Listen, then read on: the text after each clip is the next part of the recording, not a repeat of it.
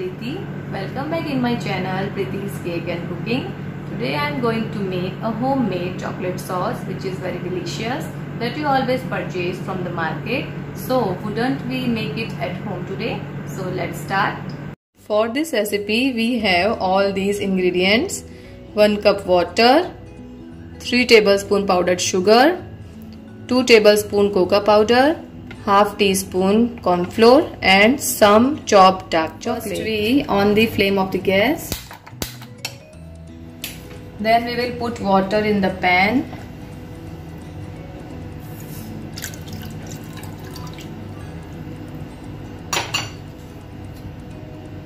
We will mix all except chocolate like cocoa powder powdered sugar and corn flour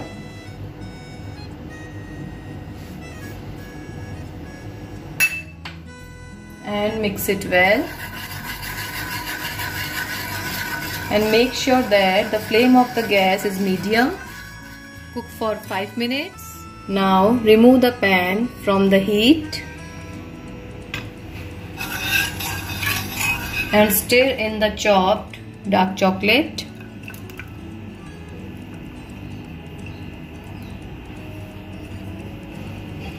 Mix it well until it melted and cool it down for 10 to 20 minutes.